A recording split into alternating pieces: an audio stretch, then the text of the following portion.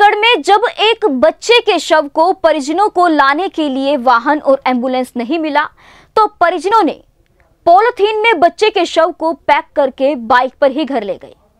आपको बता दें कि छत्तीसगढ़, जांजगीर, चांपा ज़िले के बनारी गाँव में सुबह एक बच्चे को सांप ने काट लिया। इसके बाद परिजन उसे जिला अस्पताल ले गए, लेकिन इलाज के दौरान मासूम की मौत हो गई। इसके बाद परिजनों के घंटे इंतज़ार के बावजूद उन्हें शव वाहन नहीं मिला। जिसके बाद परिजनों ने मासूम बच्चे के शव को चादर और पॉलिथीन में पैक कर कर बाइक पर ही घर ले गए ताकि समय से उसका अंतिम संस्कार हो सके।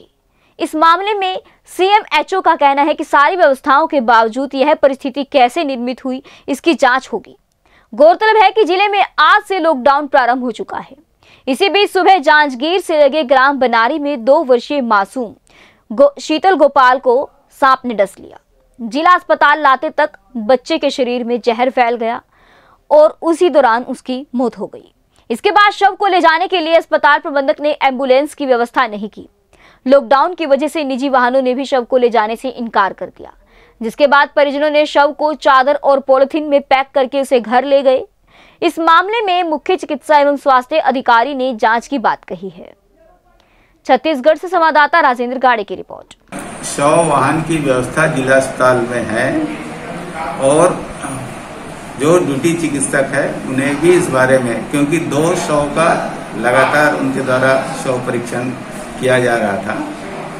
दो साल की बच्ची थी और परिजनों को बताना था, संबंधित डॉक्टर को, कि अमुक गाँव से हैं और हमें तत्काल ले जाना है। सौ वाहन उपलब्ध है।